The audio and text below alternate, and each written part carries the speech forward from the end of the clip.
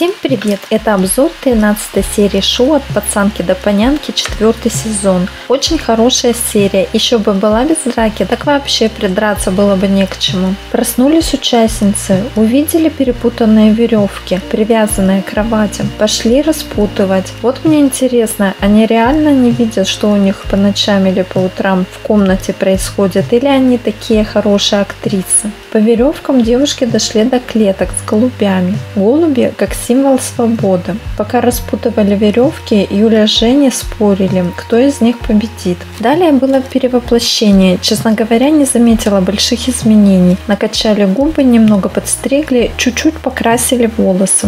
Может, конечно, это и не хуже. Почему-то смеялись над Катей. Не поняла, почему нормально подстригли девчонку. В салоне снова произошла ссора. Женю взбесила, что Юля постоянно говорит, что она победит. Но на это ведь можно не обращать внимания. Женя бесится, так как она также считает себя победительницей.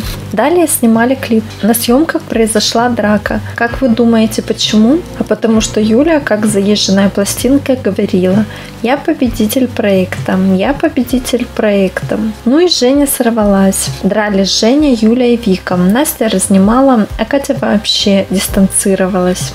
В данной ситуации я ни за кого. Мне не понравилось поведение абсолютно всех. Ну, клип сняли и сняли. Получилось неплохо. Далее была психология для Юлии Чагринец и Жени Мазур. Может и для других была, но нам не показали. Юлия Чагринец отпускала свое прошлое, а Женя прощала своего отца.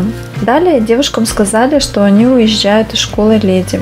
Участницы очень расстроились. Затем девушки поехали по домам, красивые и изменившиеся. Юля приехала в Полтаву. Мать к ней даже не вышла. Может, к лучшему. Юля зашла в парикмахерскую, где работала, попрощалась с работодателем. Вика в Краматорске сделала татуировку Феникса. Потом пришла домой, где ее ждали мама, две сестры и брат. Мама была рада видеть Вику, а вот старшая сестра не очень. Даже ушла. Ей не понравилось, что мама с Викой хорошо общается. Очень странно. Женя приехала в Винницу к маме с братом. Там они сходили на фотосессию. Также Женя сходила на кладбище к отцу. У Насти был день рождения. К ней в Киев приехала мама с братом. Они все вместе пошли кататься на роликах. Катюша приехала к дедушке.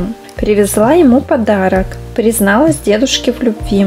Я чуть не заплакала. Далее Катя съездила к своим братьям, которых очень давно не видела. В этой серии не выгнали никого, что правильно, так как если выгонять, то надо было почти всех. А на этом все. Подписывайтесь на канал. До скорого.